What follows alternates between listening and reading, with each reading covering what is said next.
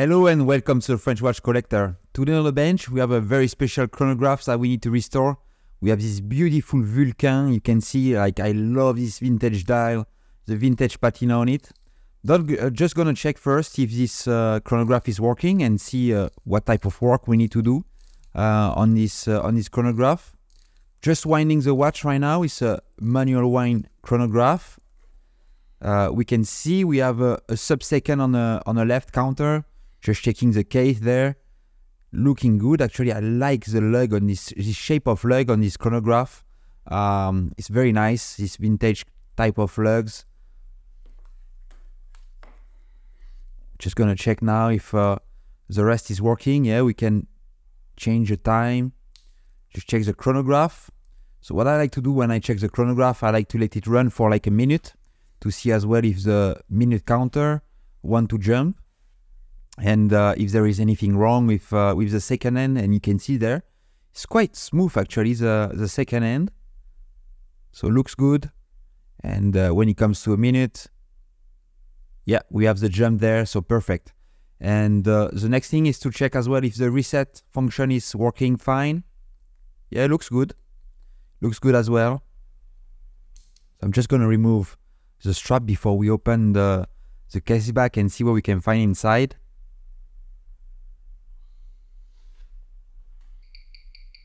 And when we put it on a timegrapher, we can see the result actually, the amplitude is quite nice at 337. Obviously the rate is not good, losing 67 a second a day and a bit error as well. I like to have it below 1 or close to 1 millisecond on this uh, manual watch where you can adjust the bit error manually. So yeah, there is some work to do, but the amplitude is quite good. So let's check what we can find inside. Wow, that looks nice. I love chronograph calibers, especially this type of vintage chronograph caliber. Looks quite nice. You see there, column wheel, column wheel chronograph. So again, we can see a R sign as well on the bottom there, which is a sign from a, a Valjoux caliber. And on this side, uh, so you open the chronograph from the front, like the, the dial normally come from the front, uh, but it was very hard to move and actually it was glued like the, the, the case there around was fully glued. So yeah, that's not good. So I'm just gonna go all the way around just to lift up there the bezel. And you see it's, it's glue, yeah. I don't know why they've done that because actually it's fitting quite nicely. Maybe just to make it a bit more watertight, but obviously this is not the purpose of this watches, this type of watch. So yeah, it's not a good, not a good fix to glue a, a bezel on a watch. Just gonna align the hand now and uh, gonna remove all the ends in the center. So the second uh, from the chronograph, the minute and the hour hands. Beautiful patina on, on the lume there. I love the lume color on his watch. Just using my Presto tool here. And I'm gonna manually remove there the two sub-second.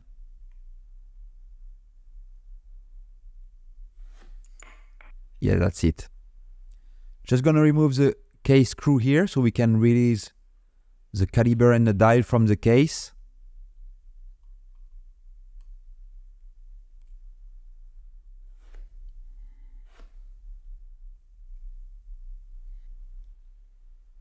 Just gonna release the winding stem here. And now it just pops, you see like you have like a pusher here. Yeah, there we go. Now the caliber is out of the case. I can remove the dial.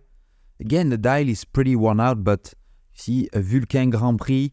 Uh, the, the dial is pretty worn out, but I love this type of uh, vintage watch. I, I, found them very, like with a, a huge charm. Um, so yeah, I, I like to keep it like this. And on this side, gonna remove the hour wheel. And you see this caliber as well as kind of this gold finish on it. Obviously, it's not gold, but yeah, it's uh, a different type of finish that's what you can see on uh, on other calibers. And uh, just removing the power here inside the watch, and we should see the balance wheel coming to a full stop when the power is uh, fully gone from this caliber.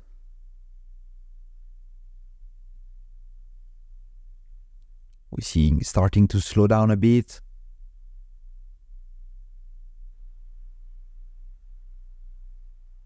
And there, that's it. It's coming to a full stop. So no more power inside the watch. So we can start to disassemble, to disassemble the caliber by removing, obviously, this part, which is very fragile, the balance assembly.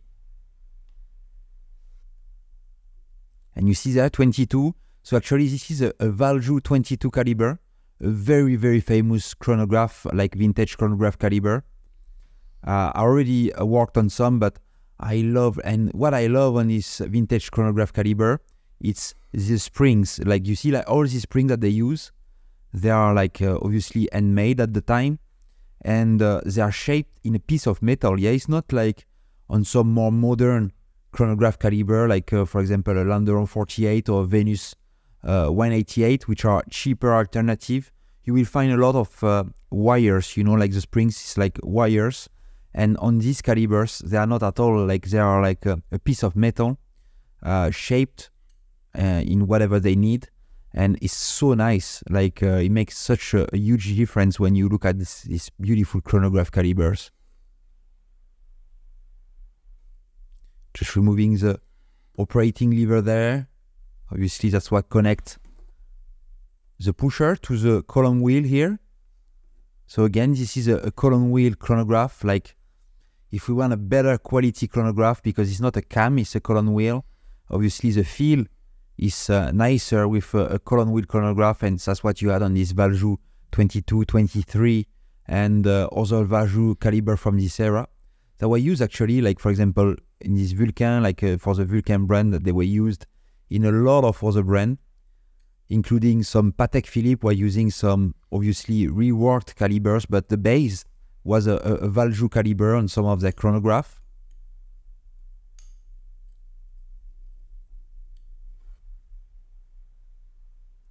Just removing the brake here and all the parts from the chronograph. Removing the spring, you see again another spring here. And what I do every time I remove a part on a chronograph, obviously I put back the screw on the plate just to make sure I don't mix them up when I put it back together because each screw is different on a on a on a chronograph, and there is a lot of screws. Uh, so yeah, you don't want to mix them. And this is a column wheel, the heart of the chronograph, the brain of the chronograph, if you want. That will give the information when you push on a on one of the pusher to all the other parts of the chronograph to start, stop, or, or reset the chronograph.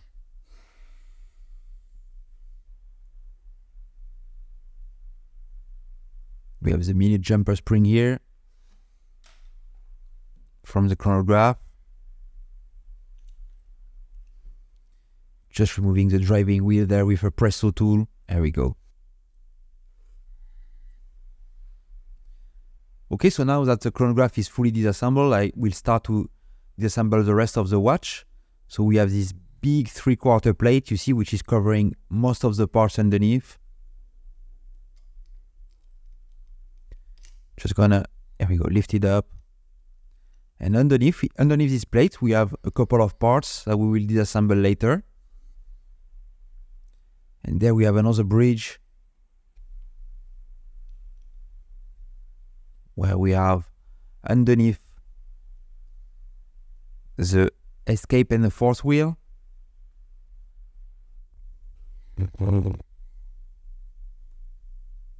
you can see the caliber actually is not that dirty, some stains, but not a lot. I don't know when when was the last uh, service on this watch.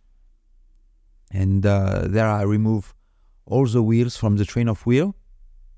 See, making the connection between the barrel to the pallet fork.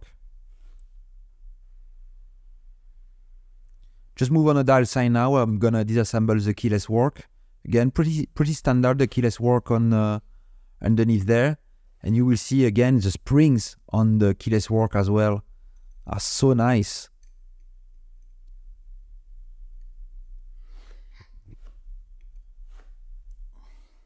Remove the minute wheel here.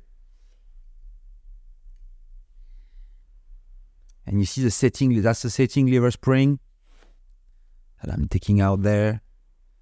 And we have the yoke with a huge and very strong yoke spring. Not easy on this caliber actually to take the yoke because it's always an, under tension with this spring. That's it.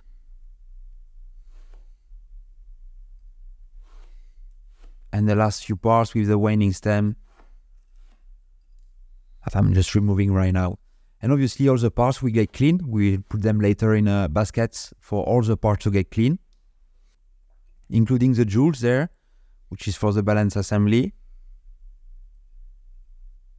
Obviously you see this watch is without shock protection. So it's quite an old watch uh, because yes, the shock protection started to appear at the end end of the 40s.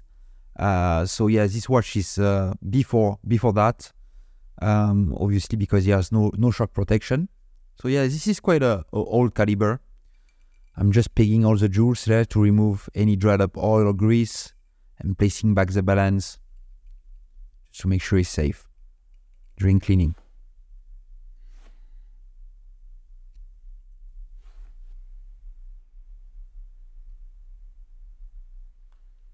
Just now going to disassemble the few parts which is under the three quarter bridge here. We first the crown wheel. See with this tiny screw there. A bit dirty underneath here. You can see some black spots. And we have the click here that I'm removing as well. Just leave the, the spring on the plate. Don't need to remove the spring. It will get clean. And now I disassemble the barrel assembly.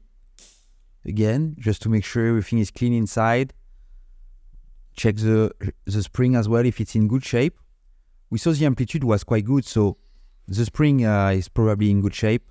But again, just to make sure we clean, you see it's quite dirty inside with like some very dark grease. You can see it now in my, on my finger cots. Just do a quick polish of the pivot on the wheels from the train of wheel.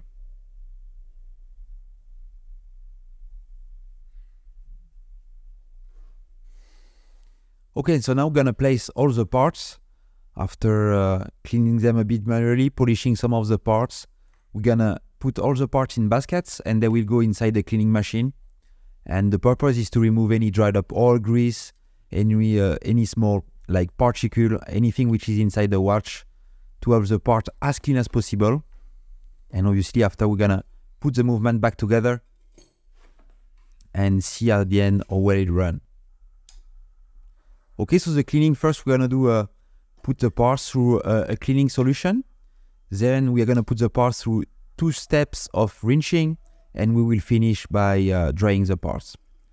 I would like to, to use this opportunity to thanks my existing patrons. So I have a Patreon account. You can find the link down below. So Thomas, Philip, Roger, Matt, Christian, David, Shelby, Jan, Rune, Christian, Corne, Alan, David, Tony, Stephen, John, Tim, and Gregory. Thank you so much, guys, for supporting me, supporting my channel, supporting my work. And again, if you want to join the team, you can go to my uh, Patreon account. You will find the link down below in the description and join one of the plan. It will help to support the channel. And as well, if you did not uh, register, if you did not subscribe to the YouTube channel, you can click on the subscribe button down below. You can click on a thumbs up if you like the, the video and it will help to promote this video and on the bell icon as well to get a reminder when I put a video every week so you will get a reminder any new videos that I put online. Okay, so now we're gonna start to reassemble the watch and I will start with the barrel, uh, with the mainspring, with the barrel assembly. And actually there I'm gonna put it manually. You see by hand, just turning ever so slightly inside the barrel, step by step. And we have a, a brand new, I don't know, not a brand new, but you see a fully clean mainspring inside the barrel assembly. Placing the barrel arbor. And again, greasing to make sure everything is nicely lubricated inside.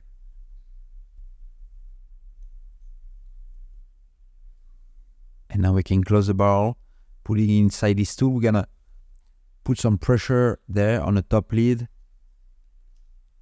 and we close the barrel assembly. Gonna oil there, you see, using some red oil, which is a 9104, which is a medium viscosity oil just to make sure like the friction is reduced to a minimum between the parts which are in contact metal against metal. I'm gonna oil as well, need to oil the jewels, which is on the top of the balance, and for that I need to disassemble the balance, but this one was really, really stuck. So I had to use a, small screwdriver to push on it there and uh, detach the balance wheel from the balance cock. And now I can get access to this screw to disassemble there the cap jewel. You will see there totally different from a shock protected system, obviously. And here we go. Now I have a couple of parts, and here I have the capsule that I will put in uh, with a few other parts to treat it in Epilam. That will help to retain the oil in a better spot.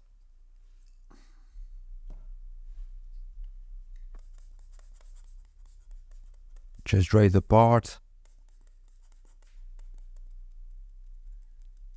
Just gonna remove the Epilam on a pivot point there of the escape and the pallet fork, escape wheel. And I'm gonna place back the cap jewel. So that's the first one, which is on the die side, which is a, an easy one. Just need to put uh, the screw in place. And with my automatic oiler, I will put a drop of oil from the other side. And I'm gonna reassemble the capsule on a balance cock there. So you will see, you see like you need to put all the parts back together. Just press there because yeah, this is quite a, a tight fit there between the parts. Just gonna put the part on top and try to align the holes. We're gonna put the screws just after that.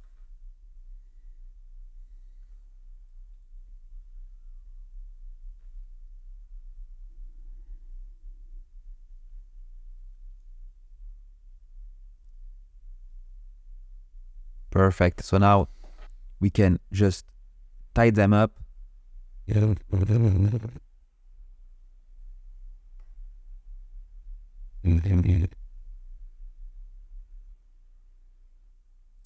And put a drop of oil again with the my automatic oiler there.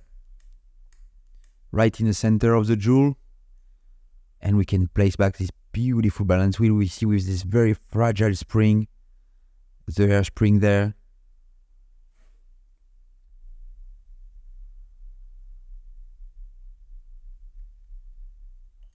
Oopla, just jump. Didn't go very far, but was already in position. And now I can secure with the screw here.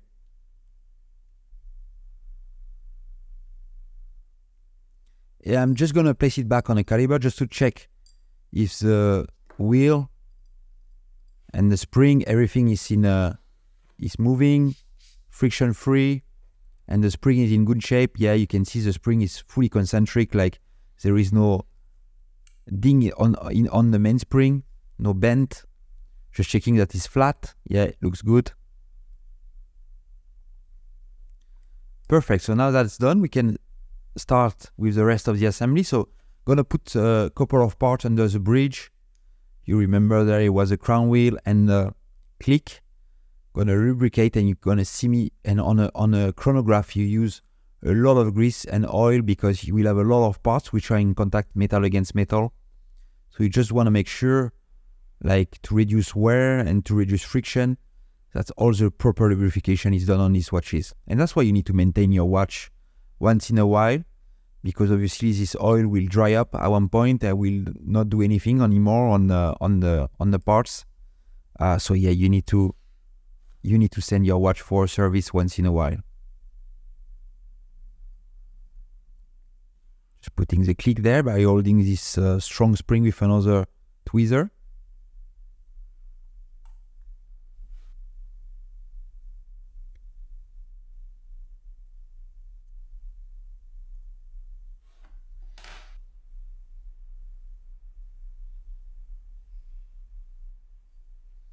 And I'm gonna start to put the train of wheel together, starting by the escape, escape wheel, the fourth,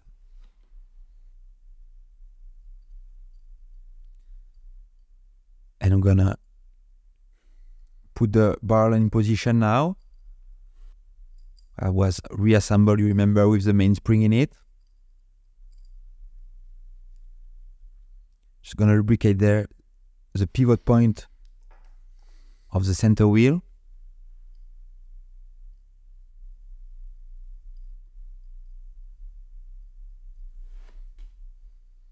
We have this small bridge, you see, just keeping in position two of the wheel there. Just need to make sure everything is aligned there. You see in the jewels. Perfect.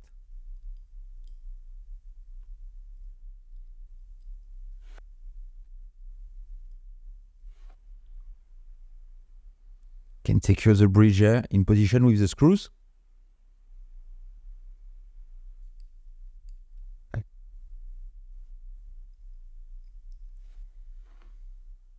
And now we can put this big bridge in position covering the rest, the rest of the parts, just checking make sure everything is aligned properly.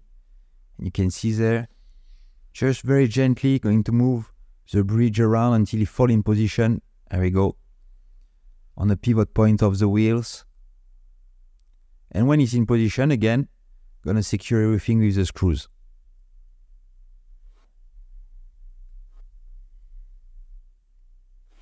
So again, so this Vulcain, yeah, Vulcain uh, is a, vintage brand, obviously, that uh, sadly disappeared, but it came back recently. And uh, actually, I did a watch uh, on the channel uh, a while back uh, from Vulcain, and it's it's a, it's a watch with a, a very with an alarm. The Cricket is a very famous watch, and actually, it's what Vulcain is most famous for, for the Cricket watch that were used a lot by the different presidents from uh, United States of America. So yeah, uh, that's what their watch was. that's their iconic model, if you want, with a caliber that was developed by them. By by them, and you see they made other watch as well, like this this chronograph. They made a lot of watch, obviously. Uh, not with their own chronograph caliber because obviously they use this uh, Valjoux 22 caliber. Uh, but yeah, I was it was a, a nice brand uh, making a nice watch and a very innovative watch as well, like uh, with uh, with the Cricket. Uh, but yes, sadly, again, it's one of the uh, brands that disappeared at one point, and uh, that came back very recently with yeah new watches, inspired as well by this vintage vintage model. but yeah, I, I love the the Vulcain watch. They made some very nice watches in the past uh, like like for example this uh, this chronograph. And again this uh, caliber like this Valjoux 22 is like like probably one of the best quality chronograph caliber that you can add at the time during this period like probably end of the 30s early 40s for this one. Um, so yeah it's uh, it's, uh, it's they are great pieces.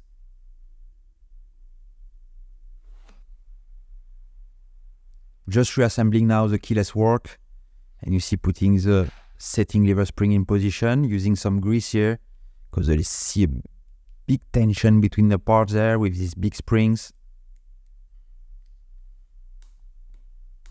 Just checking everything is working fine yeah looks good. And I can assemble the rest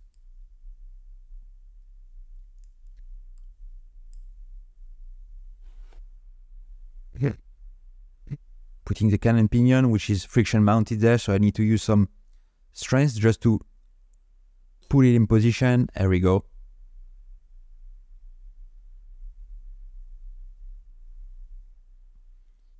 It's a minute wheel and we have a couple of intermediate wheel there. And a plate that will come and cover all these parts and keep them together.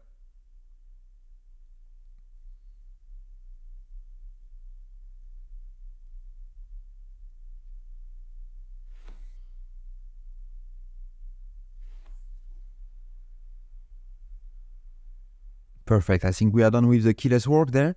Just gonna check one last time if everything is working when we turn. Changing time, winding the watch. Yeah, that looks good. We can put the pallet fork in position.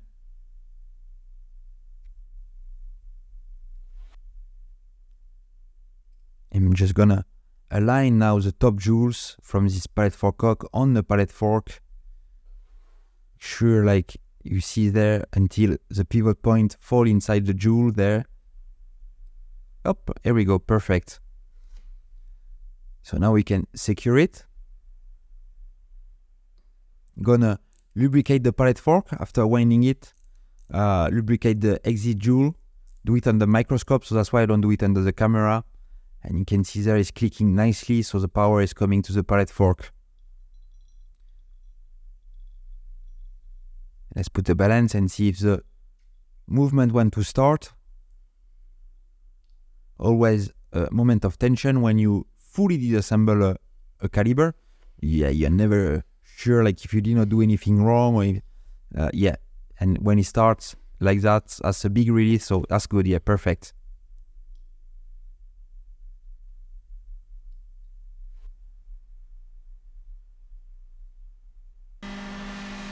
Okay, I'm just gonna do a quick polish on the, on the on the case, not a not a hard one, but a very light polish.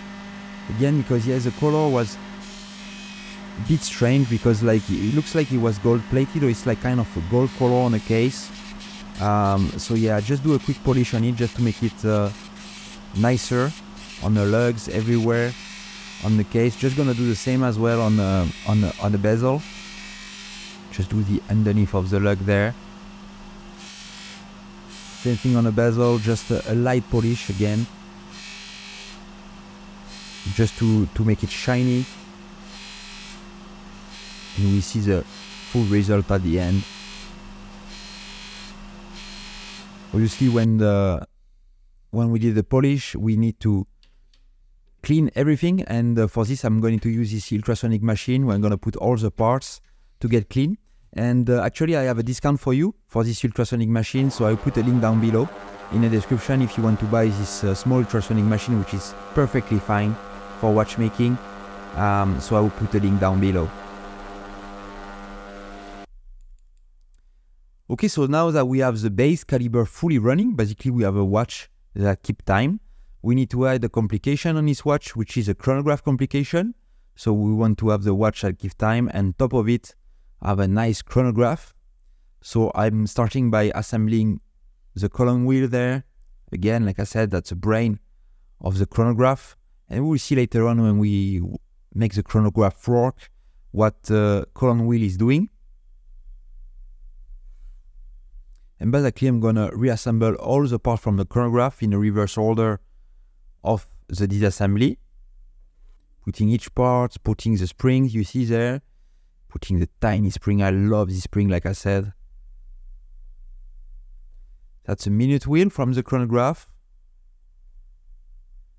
And I'm gonna use and put this. I really don't like to put this screw on a chronograph. That's why I use, you see there, for this uh, spring there, it's a small screw. So I'm keeping it in my tweezer just to make sure it doesn't move. And with my other hand, I'm just gonna screw it a few turns and that's it. Now it's in position.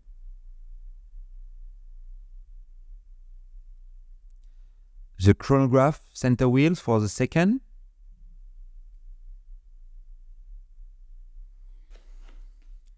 And I'm just going to put this chronograph bridge there, you see with the two jewels. I need to align, need to be aligned with these uh, two wheels that I just put in position. There we go, perfect. You can see there as well on the bridge, is, uh, even if it's not a, a Vulcain caliber, is uh, branded with the Vulcain name on it. Just checking that the wheels are turning freely. Yeah, it looks good.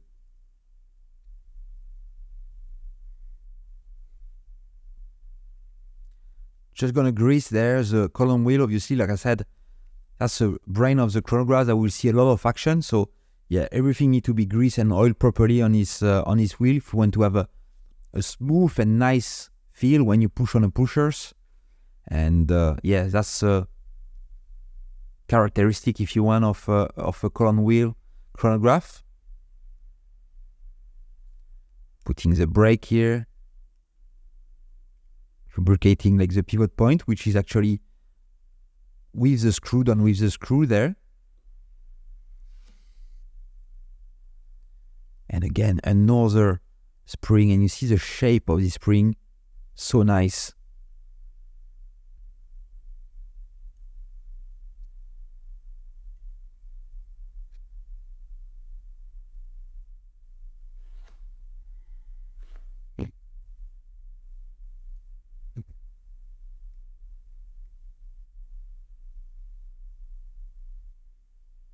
Just gonna put this tiny screw there that keeps the spring in position. And again, oiling as well all the contact between the spring and the parts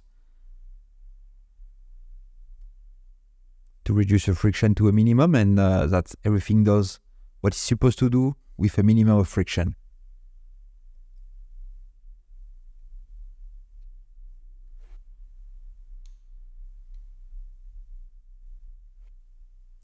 Gonna put the hammer here. So that's a part that will come and uh, hit the heart-shape cam on the minute wheel and the chronograph wheel just to reset the chronograph.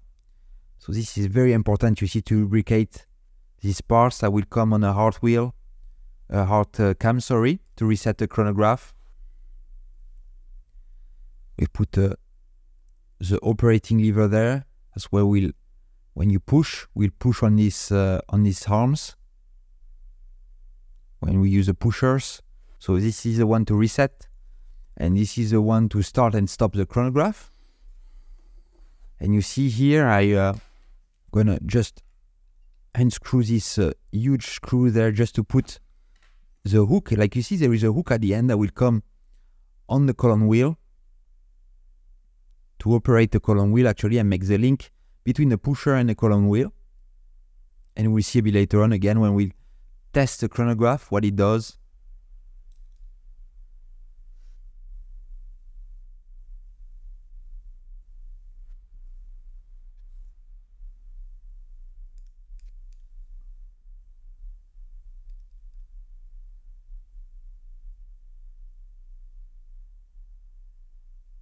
and putting another spring here. That's actually this one is for the hammer. I'm just gonna put a spring first. You see that's a very tall spring. And I'm putting arming it like against the hammer here.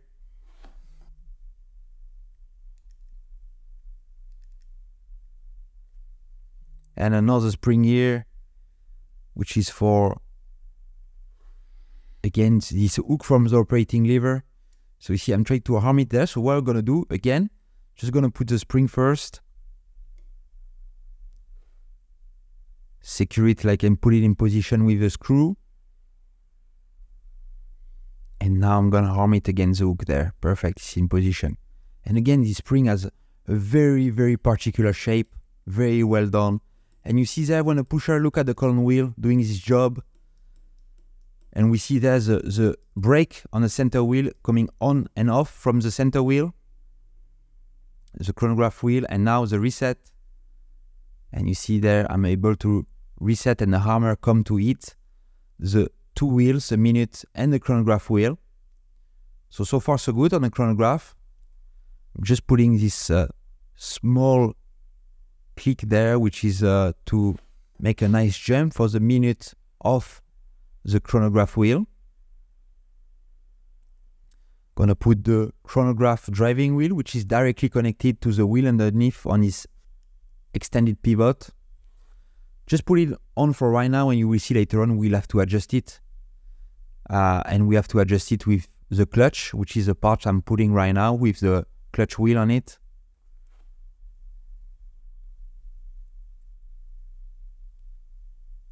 And again that will this part will come in contact to the column wheel and be driven by the column wheel when you push on a button.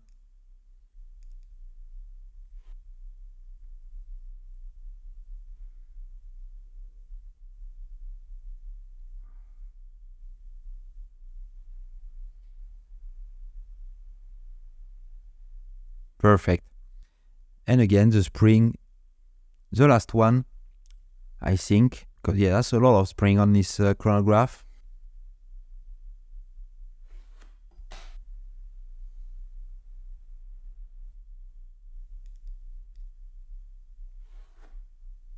Okay, you can see there's a wheel uh, the driving wheel is much higher than the clutch wheel.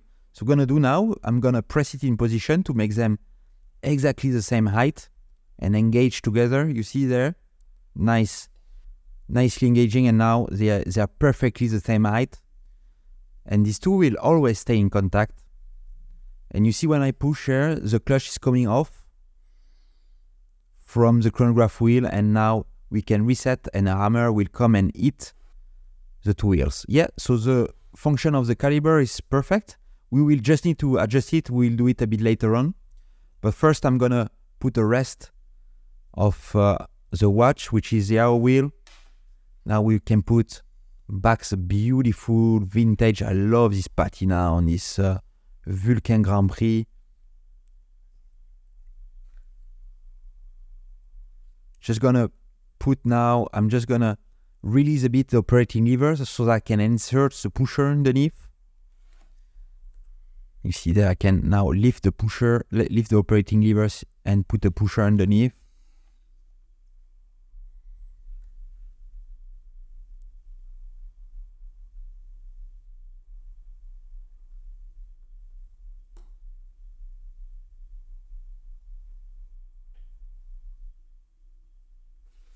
Yeah, now it's in position. I can again screw it back and the pusher will stay in position.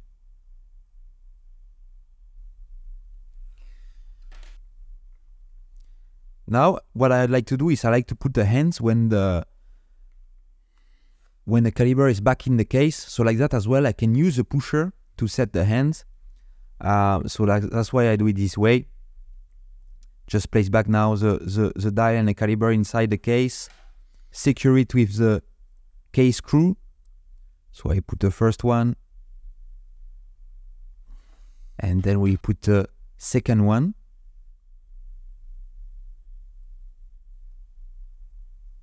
Then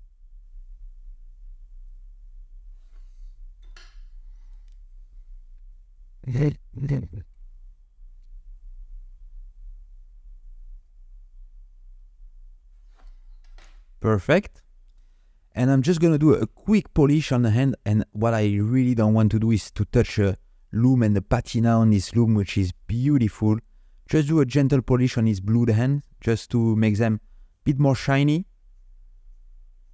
And obviously we're going to do all the hands, so the hour, the minute there. Gonna do the second hand from the chronograph. I like the teardrop at the end of this, uh, on one of the extremity of this uh, second hand from the chronograph. Just gonna do as well the sub, the hand from the sub dial there. So now I'm gonna place the hand back on the watch. So starting with the hour hand, just need to align at midnight. Gonna press it in position.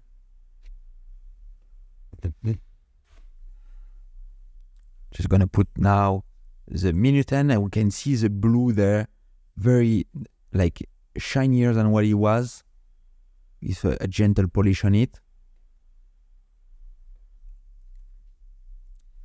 And the second hand. So what I like to do is, you see when I put the hand, I like to keep the reset button engaged for the hammer to be on the on the wheel. So like that I know the second hand doesn't move. And then I press it in position. So you see there, I'm just adjusting it to make sure it's perfectly on the zero mark from the chronograph. And and if it move, you see up now it just move a bit. I will just realign it. And because I like to have my chronograph with the second ten perfectly on the zero. And now I press it in position. And you see there perfectly on zero. And now when I do a reset, yes, it goes back perfectly to the zero position. So yeah, perfect setting on a second hand there. That's the second hand from the time, which is always running. Just put it in position and press it in position. And that's a minute hand from the chronograph. So again, this one, we want to align it perfectly to the zero position. So we're going to do the same thing that what we did on the second end from the chronograph. Align it perfectly. And when it, when it is, just going to press it in position. And now under the microscope, I'm uh, checking like the teeth. If the engagement between the teeth is perfect, they need to engage 75% of the lens.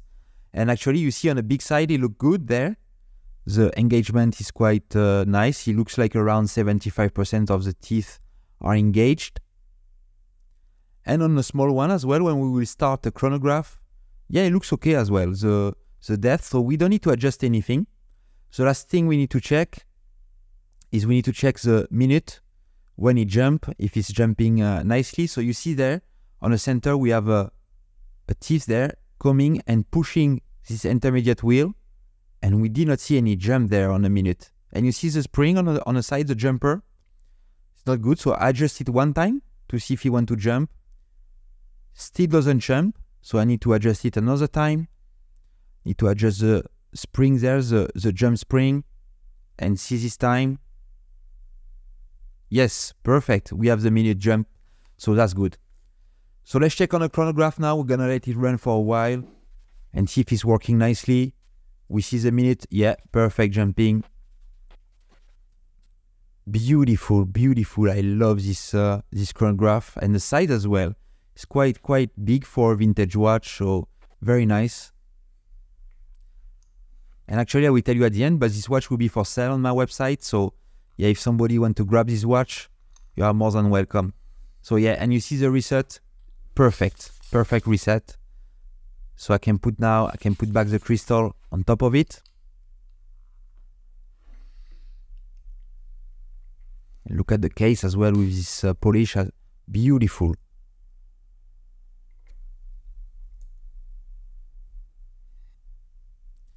And the crown was a bit loose, like uh, when I uh, wind the watch. So I'm gonna uh, fix the crown there inside the, the winding stem, just using some Loctite, some grid Loctite there for sure, for like that for sure the crown will not move anymore. Just it fully inside the winding stem and place it back on the caliber and secure it with the screw there. Perfect. Just gonna demagnetize the watch just before we put it on a timegrapher, but first would like to tell you that I have my own website where I'm selling some of the watch that I restored on the channel, including this one. And uh, I will put a link down on the top right corner if you want to go to my website. And uh, as well, if you have uh, some vintage watch that you want to send for a service, you can go and find my uh, contact detail if you want to send your watch for a service. Like, for example, if you want to ser- service a vintage chronograph, I will be very happy to work on your watches. And you see the result there. So it's not perfect yet. I need to beat some adjustment. I need to let it run for 48 hours and I will adjust the rate, but it's much better. The amplitude went up, the beat error went down. I can adjust the beat error as well to get it just below one. Uh, but uh, watch is running very nicely, and after 48 hours, 48 hours, you run even better. So I like this restoration. The watch will be for sale on the top right corner there, and I see you for my next video. Bye bye.